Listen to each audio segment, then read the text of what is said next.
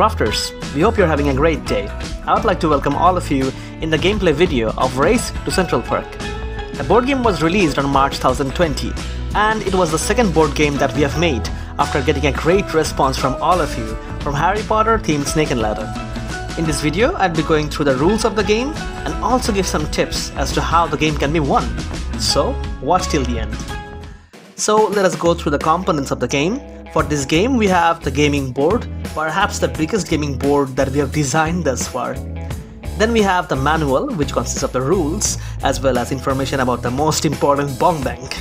And then we have um, the dice, the six gaming pieces of our six beloved characters, the wild card, the Bong Bang coins, and of course, a trophy for the winner.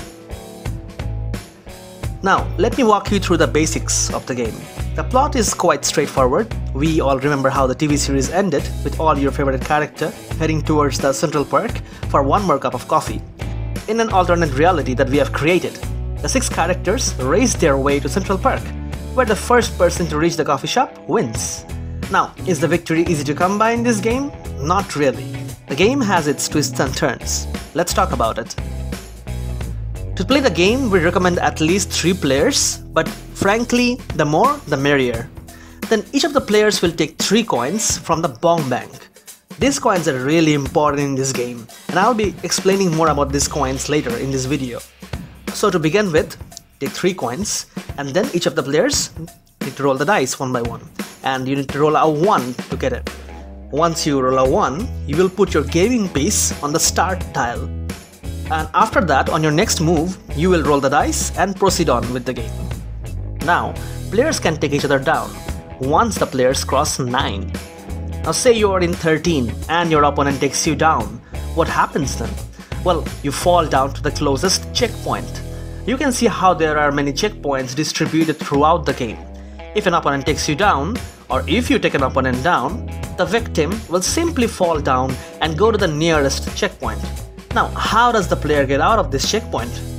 Well, the player has two options. The player can pay one coin to the bong bank and bail out of the checkpoint. That is, step on the tile connected to the checkpoint with the lowest number. But since the bong bank coins are so important, would you like to lose them? Well, if you don't want to, there is always another way to get out of the checkpoint by trying out the wild card. If you're trapped on the checkpoint and you opt for the wild card, then on your turn you need to roll the dice and see what that represents on the dice chart. If you roll a 1 or 2, you are doomed as you have to go right on the starting tile. While if you roll a 3 or 4, you escape out of the checkpoint and drop on the lowest number connected to the checkpoint for free. While if you roll a 5 or 6, you get to escape plus earn a coin from the bong bank. Win-win. Wildcard is a big gamble, hence we call it wild. If you have no coins at all in your hand and you are trapped in a checkpoint, then you have to try the wild card. Now, let's focus on the board. You will notice how each of the characters has two traps. Say for Joey, we got a trap on 37 and 50. Each character has two traps. Now, the biggest catch with the traps is that you are immune to your own traps, meaning Joey will not fall on Joey's traps. Rather, if Joey steps on his own traps, he will get a reward of 2 coins from the bong bank. However, Joey will definitely fall in trap if he lands on the trap of his opponents. The same goes for all the characters in this game. Now, on the game-changing element, the bong bank coins. All this while we have talked about gaining or losing coins, it must have occurred to you that what is the function of the coins? What is the point of gaining or losing them? Well, let's have a look at it. The manual consists of instructions as to how the coins can be used. Uh, well, for a start, like we have said earlier, each player will collect 3 coins from the bank. Next, if you step onto the two darker tiles of 36 and 55, you'll end up winning 2 coins and it does not matter how many times you land on them, you will get 2 coins from the bank. Next, if you take down a player and send the player onto the checkpoint, you end up winning 1 coin. Now, enough of winning coins, what to do with them? Well, for a start, you can get out of the checkpoint by paying 1 coin to the bank. If you ever get stuck in a checkpoint, if a player, if an opponent takes you down, then you can always get out of, of, of the checkpoint by paying 1 coin to the bank. And then comes the fun part. you can undo the final move of a player by paying one coin to the bank. So imagine this, your opponent is Ross and he's on 80 and he has just rolled a 1, which means he's winning this game. All you need to do is submit one coin to the bank to undo that move. Now Ross needs to roll the dice again.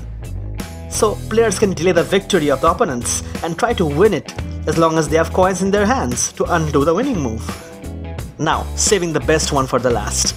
If you somehow manage to earn enough coins, you can literally buy one of your opponent by paying them 3 coins from your hand, provided the opponent has no coins at all. So, if your opponent Monica has 0 coins and you have plenty, then you can give Monica 3 coins and end up buying Monica. Now what does that mean? Well, it means Monica can no longer take you out at any point of the game. Also, Monica can no longer undo the possible winning move of yours. If a player has zero coins and is offered to be bought, the player has no choice but to say yes. Such is the power of the Bong Bank coins. So, all you have to do is try collecting coins as much as you can, try your luck with the wildcard when necessary, buy up players whenever the opportunity arises, and win the race to Central Perk. We are assuring you it will be a ride to remember. We have 4 other games that we have recently released, and we are also coming up with a few. Do not forget to check out our products on Facebook, Instagram, and on our website, Kraos Bangladesh, and always keep an eye on our YouTube channel to see what we're up to. We have recently launched a series, Commentary with Mr. K, where we host games to show everyone more about how the game is played, narrated by our dear host, Mr. K. Do check it out. Thank you, Krafters. Take care.